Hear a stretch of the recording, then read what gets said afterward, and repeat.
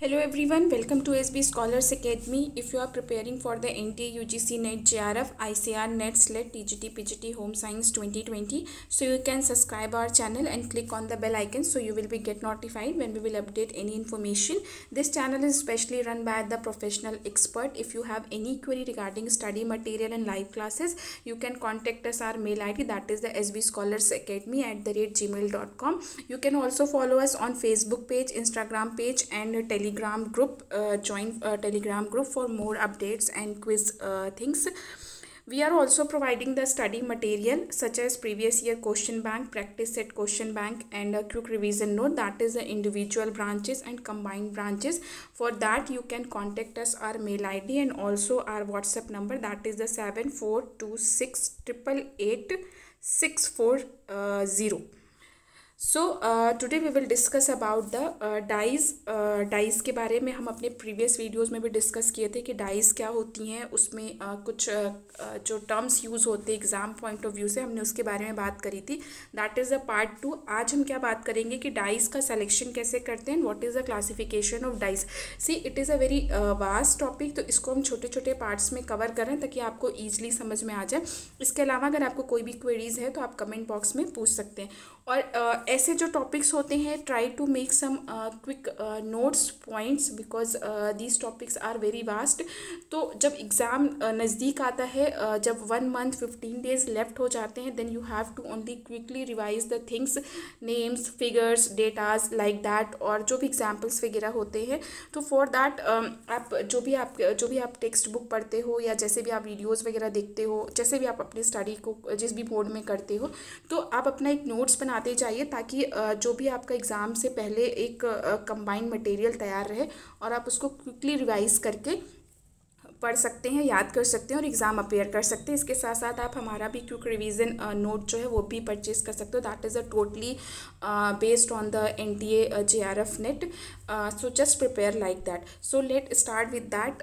कि selection of dye कैसे करते हैं कि because it is basically very important कि आप uh, जब भी डाई uh, का प्रोसीजर करते हो फैब्रिक पे तो how to select a dye that is very important aspect the most important thing that is the cost of dyeing कि कॉस्ट बहुत इंपॉर्टेंट होती है कि how much price dyes are costing तो uh, मतलब जैसे भी आप जो भी प्राइस uh, यूज़ कर रहे हो मतलब जो भी अमाउंट आप यूज़ कर रहे हो like one gram two gram if you are doing in bulk one K G two K G how much it is cost and मतलब like this second one that is the availability of required shades ठीक है? तो आपका required shape क्या है? ये बहुत important है। सपोज़ दैट कि if I want to be a baby pink colour और navy blue colour like this so this is very important कि आपका रिक्वायर्ड शेड क्या है? दैट इज़ इंपॉर्टेंट कि आपको सिलेक्शन ऐसा करना चाहिए डाई का कि दैट इज़ सपोज़ दैट कि if I am talking about a jeans चूँकि uh, बहुत सारे कलर्स आते हैं। अनडाउटली लाल पीले हरे गुलाबी सारे आते हैं बट द कॉमन और क्लासिकल बोलते हैं that is the black and blue मतलब वेरियस शेड्स ऑफ़ ब्लैक और various shades of blue so we can say that कि ब्लू का कौन सा शेड आपको चाहिए या ब्लैक का आपको कौन सा शेड चाहिए? That is a very important fastness of dye material dye material का फास्टनेस कैसा है? ब्राइटनेस ऑफ़ शेड शेड की ब्राइटनेस कैसी है? ईज ऑफ़ डाइंग और डाइंग की ईज क्या है? मतलब these are the some points which you have to remember before selecting the any dye so what is the what type of question can be asked in the exam from this portion it may be like that कि if you are going to be select a fabric for dyeing which factor you are going to be considered like that कि factor considering for the dyeing so that is factors ki maybe they will give you the fourth uh, three one uh, three of them yeah two of them. Or they may be asked like that ki option a b both or none like that. तो आपको इसको वहाँ पे practical अपना जो sense है, दिमाग है, वहाँ पे लगाने की ज़रूरत है कि क्या क्या ऐसी चीज़ें हैं जो फैब्रिक हाँ fabric is a very important thing कि आपका फैब्रिक क्या है, उसके ऊपर भी डाई का मतलब एक शायद यहाँ पे पॉइंट छूट गया है कि फैब्रिक सेलेक्शन ऑफ़ फैब्रिक जो होता है that is also important so you have to just remember these points now we are talking about the classification this is a very short classification for today class we will discuss in detail in the next class तो dyes को basically two parts में divide करते हैं। One that is a natural and second that is a synthetic when we are talking about the natural dye dye that is classified into sub classification such as one that is a vegetable second one that is a animal and mineral okay and uh, जो हमने दूसरे की बात करी थी that is a synthetic dye which is most commonly use and it is a very vast so in this video we have only discuss about the natural dye that is the one and under three types are considered on that and synthetic dyes are various types of so we will discuss it later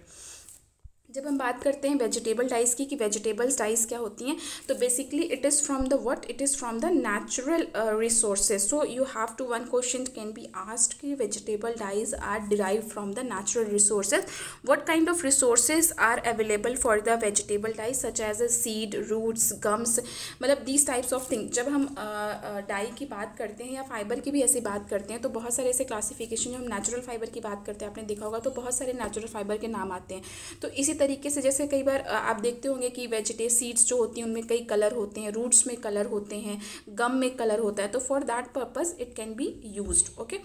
so these sources gives colour such as orange brown और greens like that और इसके कुछ example जैसे मदार हो गया इंडिको हो गया lock फ़ूड हो गया these are the examples so this is a very huge number of example I can not write here for all the examples but you have to remember कि which kind of roots gum और seeds can be use as a dye purpose so this is a, a pattern for the exam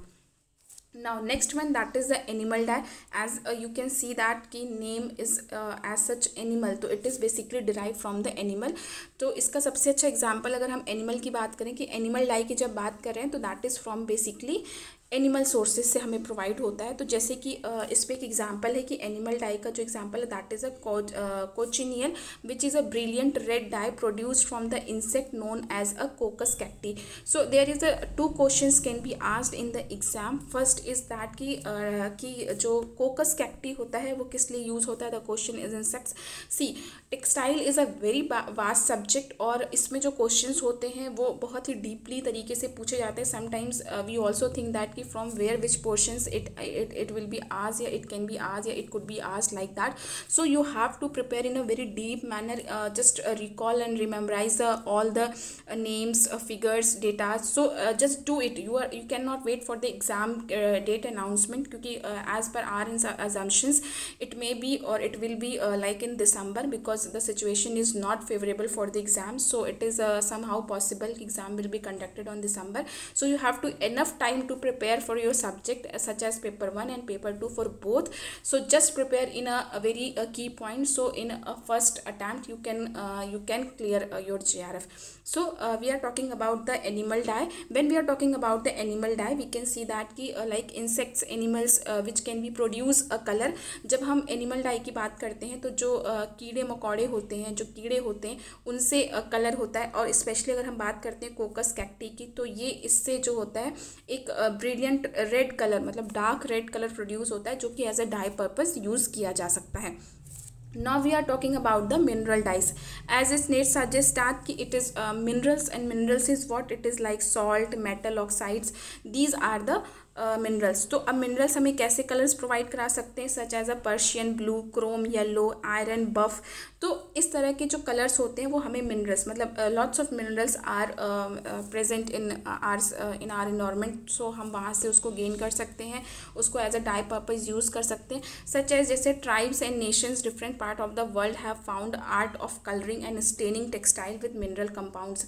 आज in today era we can see that की technologies are more and more advanced level. But in if you're talking about our older time earlier time so there is a no uh, sources of the uh, these kind of things like synthetic dyes and all and all. So people are using this kind of material for dyeing their fabric or dyeing their cloth. So this is uh, about the natural dye. Uh, in later class we will discuss about the uh, synthetic dye what is the synthetic dye types and all the things. If you have still any query or any confusion any doubt you can write us on the comment box. You can contact us our mail id or our whatsapp number. Thank you so much. Please join our uh, telegram group for more updates or any queries any questions you can ask from there or our whatsapp number are also available which i earlier mentioned in the video. Thank you so much. Keep watching keep learning